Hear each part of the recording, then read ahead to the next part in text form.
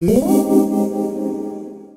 do you see in the the eight from the reaction to this idea of near death experiences from like atheists or skeptics? Um, do they do they accept near death experiences typically that they happen? Like, what, what's the reaction that you've seen to? Um, we talk about these tens of thousands of cases of near death experiences, or millions. Or, um, I've seen some pretty affirmative responses sometimes. I have an, an atheistic buddy. I won't give his name. Actually, he's an agnostic, but I won't give his name. He's one of the best known agnostics in the world. He publishes regularly in favor of agnosticism and against Christianity. And he he's one of the first ones that gave me one of the, my earliest reports of NDEs. And he gave me this, uh, in those days, a reel to reel cassette, a little uh, cassette tape that you pop in a tape recorder. And he gave it to me and he said, Listen to this uh, lecture of this guy who had a near death experience. He said, he said, This is really incredible. He said, and then he said, You know what? I'm open to this. I'm open to these kind of experiences. But he was an agnostic who didn't believe in Christianity. So that's one. Um, I debated an atheist. I've debated a I've debated a number of people. But one atheist who's a specialist in near death experiences um, after it was over, uh, this guy told a friend of mine that um, he doesn't think he did very well in the debate. His case. That's just what he told a friend. Friend told me. I mean, I'm friends with this guy, so I'm not. Nobody's angry at anybody. But what I mean is, it's got to stop and make you think. Now, now I do not. This next point, I do not know if this is true or not. Somebody sent me an email and quoted Bart Ehrman his new book on the afterlife. I have not seen this for myself. I want to make that plain. But if I can paraphrase the quote he sent me, Bart Ehrman said something like, um, I don't believe in hell because hell is not in keeping with God's attributes. He said, now, now he says, Bart Ehrman has said, I understand.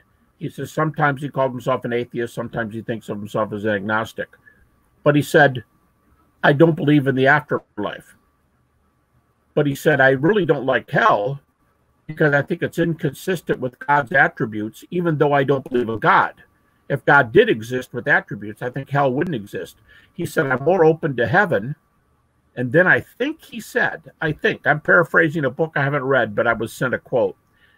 I think he said, I would really like there to be a nice afterlife. I hope there is one but I don't believe in it. So those are some of the responses of people. I've got a a, a lecture over my shoulder. It's up here on my my shelf here, uh, right right behind me, and it is one of the best known atheist psychologists in the world. And right in the middle of this lecture, where he says the afterlife is a bunch of baloney, and he doesn't think it's true, he stops in the middle of the lecture and he says, "You know, I hope there's a nice afterlife. That would be really nice, but I don't believe it. And he and he's an atheist, a psychologist. So I don't know. I think a lot of people are open. They're especially. I can tell you this: if they're going to be open, they're going to be open to nice ones. They're not going to be open to demons and hell and so on. But I'll also add, maybe this will be intriguing and you want to follow it up. Um, I don't think when religious people, including Christians, when they report I saw an angel. I saw Jesus. I saw Shiva for a Hindu. I saw Buddha for a, for a Buddhist. Um, I, you know, I saw an angel, and they're, they're a Muslim or a Jew, and they say I saw an angel, and I'm going to go back to heaven one day. When they say those things, um, there's no backup for those kind of identifications. There's also no backup for the hell cases. About 20% of NDEs are hell cases. If not hell, I don't know if you want to call them hell. That would be the short short term. They're called in the literature, they're called distressing experiences. And they're about 20%. And um, I don't think there's any evidence for people saying for identification. I don't think there's any evidence to say, I saw Jesus, I saw Shiva, I saw Buddha, I saw an angel, I saw heaven. I saw pearly gates. I saw hell. If because that's not where you get the evidence.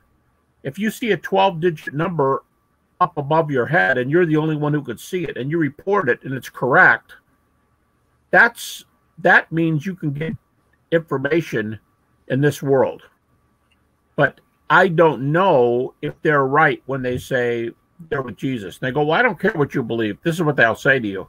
They'll say, I don't care what you believe. I know I was with Jesus. And I go, Hey, if you were with Jesus, more power to you. But but I can't tell that because I don't have evidence for it. So um, I think we can only have evidence for and make our theories around what is corroborated by the the evidence we have.